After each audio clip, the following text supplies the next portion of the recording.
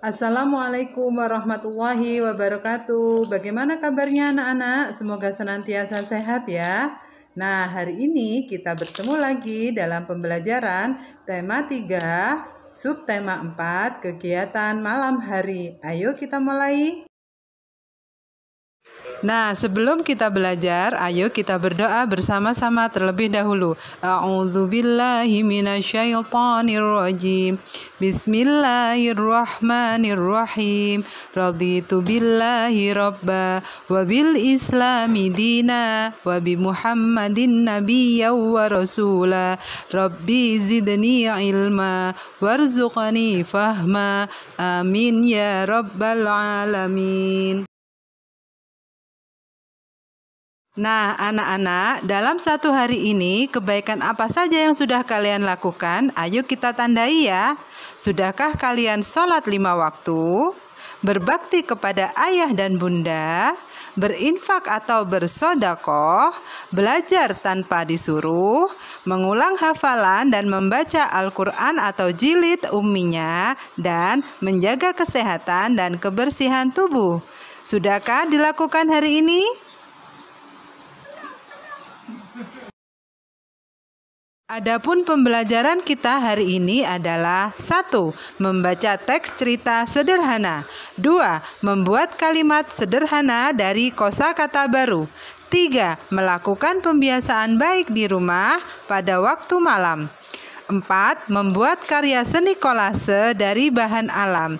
Nah, yang terakhir adalah menyelesaikan masalah kehidupan sehari-hari yang berkaitan dengan penjumlahan dan pengurangan.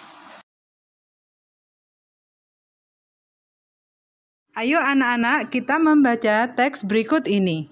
Matahari perlahan mulai tenggelam. Hari mulai gelap. Bintang dan bulan mulai terlihat.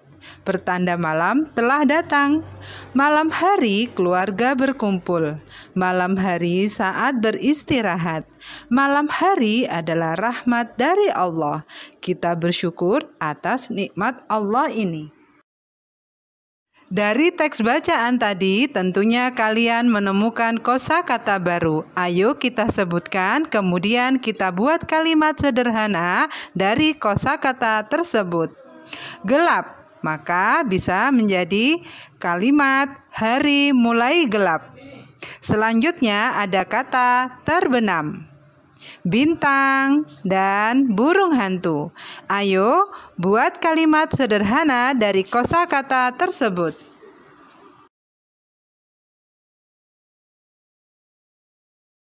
Pada pembelajaran sebelumnya, Ustazah sudah menjelaskan tentang apa itu kolase. Nah, untuk selanjutnya, ayo kita membuat sebuah karya kolase dari bahan alam berupa biji-bijian. Pada malam hari, ada beberapa kebiasaan baik yang bisa menjadi aturan di rumah kalian masing-masing. Apakah itu? Yang pertama adalah sholat dan berdoa. Yang kedua, belajar tanpa disuruh. Yang ketiga, jangan lupa ya sikat gigi dan berwudu sebelum tidur. Dan selanjutnya, bersihkan terlebih dahulu tempat tidur sebelum berangkat tidur. Bismillahirrahmanirrahim. Uh, uh, uh,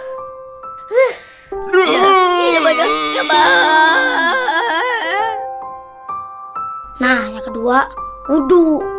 Tapi ingat, jangan boros air. Wudhunya yang tertib. Habis wudhu apa lagi? Baca ayat kursi. Dilanjut, tiga surah kul.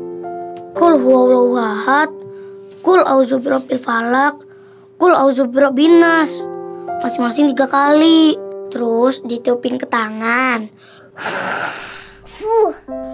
Terus diusapin ke mumpla sama ke badan. Terus apa lagi?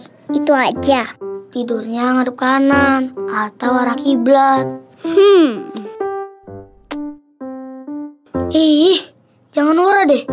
Kan udah ketahuan kalau sholat ngademnya ke sana. Terus? Keempat, jangan banyak nanya. Baca doa, terus langsung merem. Bismillahirrahmanirrahim. Bismika